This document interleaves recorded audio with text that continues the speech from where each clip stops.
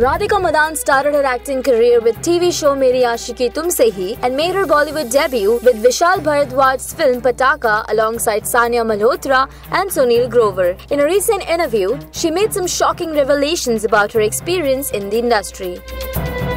Radhika revealed that she had auditioned for Student of the Year 2 but got rejected because the role went to a star kid. And we know that star kid is Ananya Panday. Her statement has once again proved that Bollywood still peaches nepotism.